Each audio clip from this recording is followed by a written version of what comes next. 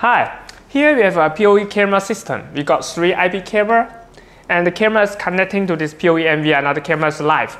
In this video, I'm going to bring back the live video from the cameras and to the router. So eventually we can access the live video through the mobile phone.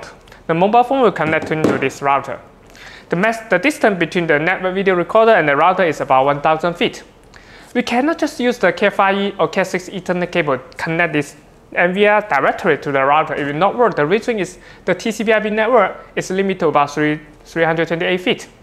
Now we are talking about 1,000 feet, about three times before we break up the TCP/IP protocol. Okay, now let, first let's see what we need. We need this PoE extender. We need two, two of this PoE extender. Also, the PoE injector and PoE splitter. I will explain why we need all these devices. First, let's just hold up the whole system and see how it works.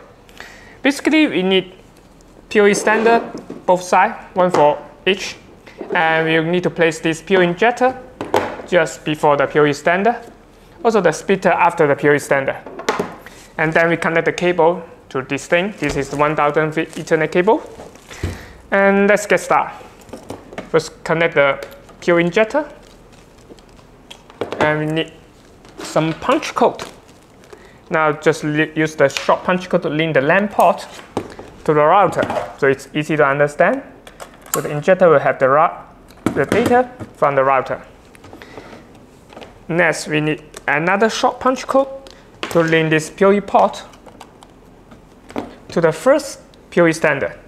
You see the PoE extender has the input and output. A is input, B is output. We need to flick the first one.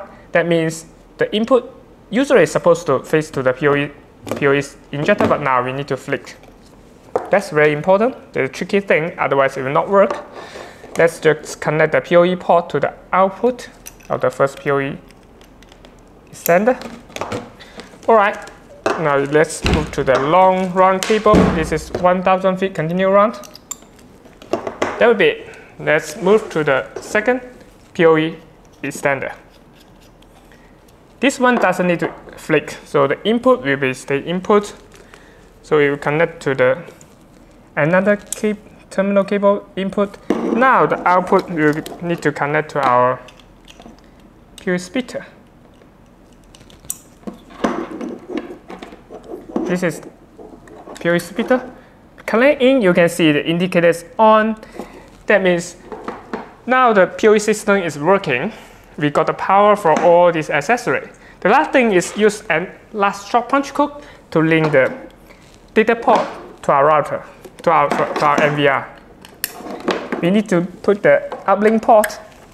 Okay, the setup is ready. Now let's just move to the software. This is the software now is connecting to the router. Let's just move close, see whether we can see the live video or not. Now we got them one, Let's switch to a four mode. Okay, I think we are seeing all four, all three camera. Now it's, it's live. Let's just test whether it's live or not. Yes, it's live. So it's quite simple setup. We are using two PoE extender, one PoE injector, and one PoE splitter. We hold up the 1000 feet Ethernet cable. It's the continue run. We don't need to put anything within this cable. And now let's explain why we need this PoE injector. You see, these are device, it's purely standard, it's electronic device, it need power.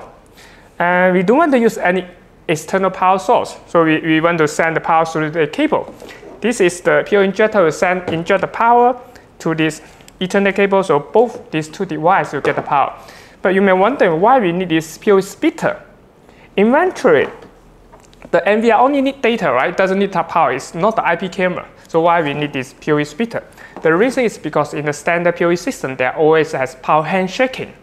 Before this PoE injector inject power to this cooked, it need to make sure your last, the final device is the PoE compatible device, like the IP camera access point. If we just remove this one, the PoE injector will see there's no power device. I mean, not no, no any other device will require the power, so it will refuse to send the power. So the PoE splitter just help to complete the power handshaking, also say power negotiation in the standard PoE system.